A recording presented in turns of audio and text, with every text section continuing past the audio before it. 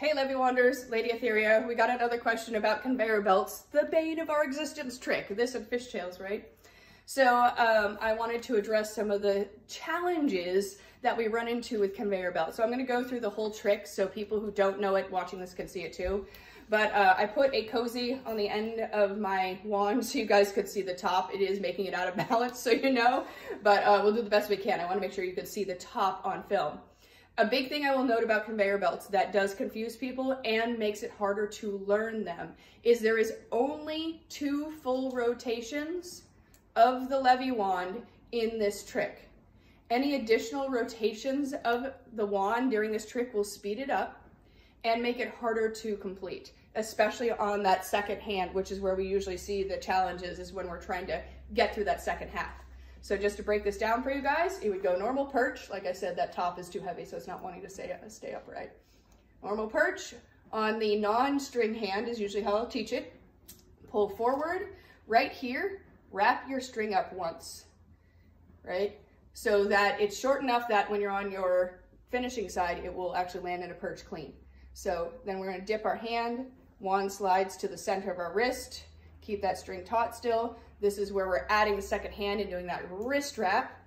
Here's where people tend to get lost. This part of the trick should be floating on my hand, not at my elbow yet. And we're taking the bottom of the wand and literally moving that towards our face. It's almost kind of scary. That means you're doing it right. And creating on this side another triangle, right? So my elbow and the wand makes a triangle. I use that term a lot. And then from here, we're just pushing up to open into that perch. All right, I'm gonna show you that, guys, in the best real time I can with this crazy cozy on the end, right? So down, one turn of the wand when we get to the center. On the hand, back to that triangle again, and then open up, second turn. So each elbow or arm, if you will, gets one turn of the actual um, levi wand, right? It's doing one full rotation. So one more time.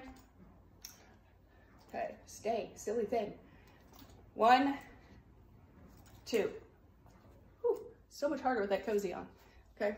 So pace, places we get stuck, right? It's usually right here. Some of those things that will help is one, making sure that when you get into your wrist wrap, your string is as short as you need to sit in a clean perch on your string hand. Imperative. If my string is fully extended out, full length, when I go and complete this trick, it's going to be too long for it to sit into a perch. So what I'm doing at the beginning of this trick when I'm sitting on my off string perch is wrapping my string up one time, because I know that's how much I need, and then keeping the string taut through the rest of that trick. Here's where it gets weird because the string's all floppy. Both the string and my hand are together. This is truly the balance part of this. And then I'm setting the top of that wand, or the bottom of the wand, on my shoulder so that when I pop open, we're back in that trick. Uh, I encourage you guys to look at contact staff videos for this move. You don't need a string to drill this trick. And in fact, I encourage you to wrap your entire string up and practice the conveyor belt without your string. It will be so much cleaner once you add it back in. Um, we are learning on expert mode. Our wands are really short. Doing this on a contact staff is so much easier because it's already slower. So give yourself some time.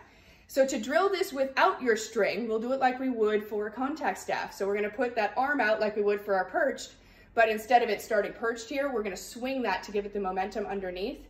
I am holding just underneath the center of the wand for this, and we're going to put it out, just like we would for your normal conveyor belt. Of course, it goes a little faster I don't have a string to slow it down. So it goes here, right?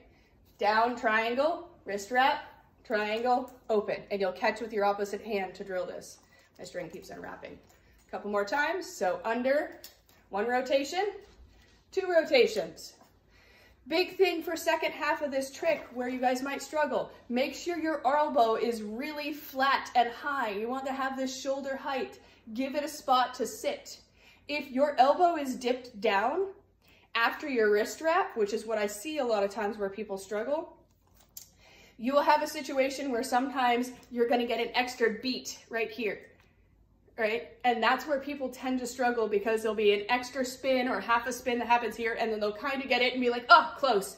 But a lot of times the bottom of the wand shows up at uh, the end of this perch too if people are having an extra spin on the elbow that's not necessary.